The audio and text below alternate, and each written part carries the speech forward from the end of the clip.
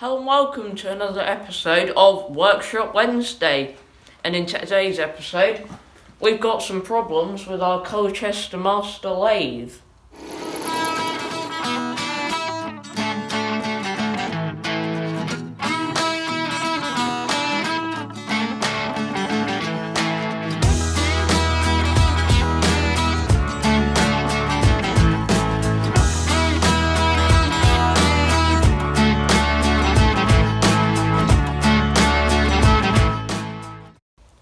So last week we were trying to work, record a Workshop Wednesday video uh, on a project that was using the lathe to do a bit of metalworking.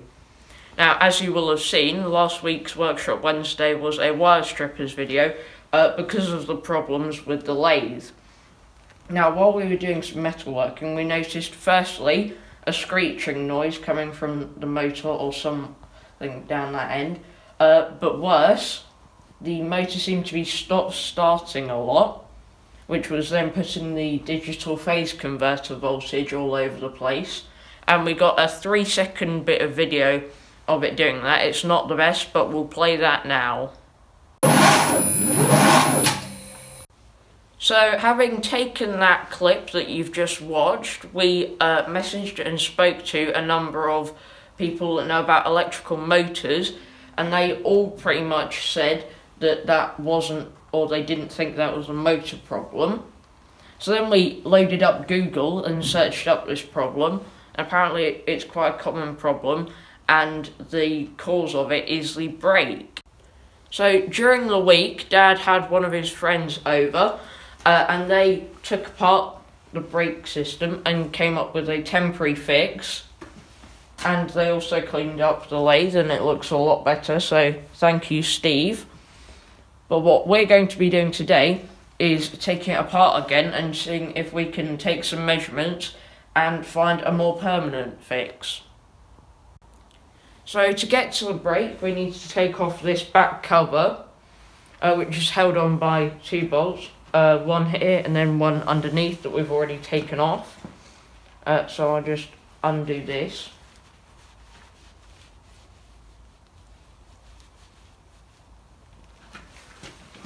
Get ready to hold it. Thank you, cameraman.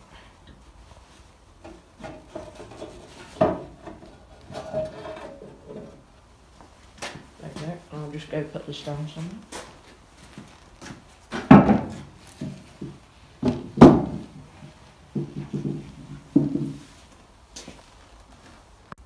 So the brake shoes are inside this pulley here. And during the week, we were quite cautious because obviously this is a 1950s machine and would have had asbestos uh, brake shoes. However, they have been replaced, but I'll get onto that in a minute. Firstly, we'll look at how the brakes work uh, from the front here. So you've got this lever, and when you lift it up, that would be the on position. And then you push it down, that would take the power and is meant to go down for a brake. However, ours does not go down at all. And in this position, it activates the brake, so we've never had a problem with it. But we'll also show you from back here now what it's actually doing back here. So if I turn this on or move the lever to the on position, you can see that has gone down and there's a switch down there, down and back there, back there, uh, that has been pushed down and then act and in turn activated. Now, if I drop the lever, you can see that switch has been deactivated and the brakes have been engaged. There. So if we now look at a manual, uh, we can see how this is. You can see the breakthrough here on this manual. And then if we go to this other one, you can see how it's held on. So to get the pulley off, which also acts as the brake drum, uh, we have this Allen bolt here. Get so if we just take this out that. I can unscrew the end.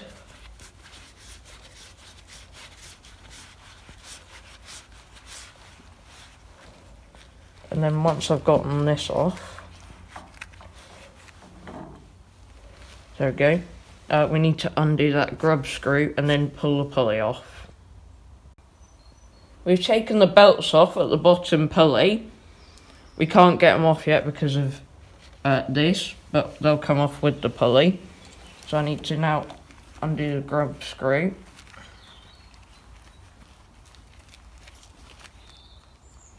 There should be enough, and hopefully this will come off by hand and we won't need to use a puller.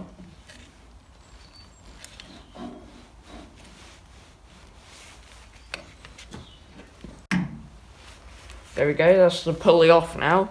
And you can see inside the brake drum there. I'll just go quickly put this down And you can see the original brake shoe has been replaced with this uh, bit of casting. And how this works is in the brake position as it is, uh, the square block here opens up the casting uh, which then hits the brake drum. If I move this to the on position, you can see that it closes up a bit.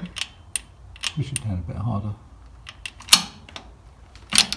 Like that. That's in the braked position. Now and you can see how that's opened it up. So the problem that we found during the week was that the nut on here had come loose, and the washer that was behind it, because the nut had come loose, had turned uh, and was then taller than the brake uh, sheet and was then braking for no reason pretty much. So what we've done is we've got this new washer with a bigger uh, like diameter. Then we've filed off the bottom so that it's flat so that when it's on here it won't turn and we've sanded down the top of it so that it's lower than uh, the braking face uh, and then we've got a spring washer here that we're also going to put on to stop the nut coming undone. However you may be wondering why this is only a temporary fix. Or if I can get this washer off. I'll let dad do it with no gloves on. We'll try to. Yeah, there you go. But it's only a temporary solution because if you look very, very carefully, you can see there's a very slight fracture. There you go, just at the end of where Dad's fingernail was, um, in the casting, and eventually that'll crack all the way across, and the whole thing will crack into. So we want to be replacing that before that happens. So now we've taken some measurements of the drum and this piece of casting so that we can find a replacement. What we're now going to do is put the lathe back together and make sure that it still works.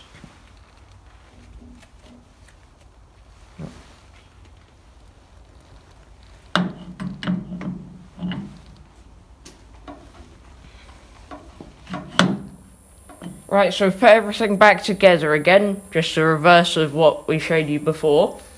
But let's make sure it still works.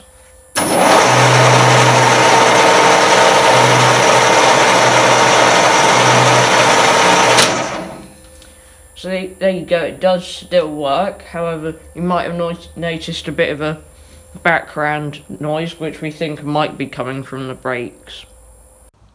So we would be interested in hearing uh, your thoughts on this problem and your suggestions of where we could possibly get a replacement brake shoe from or what we need to do to get one.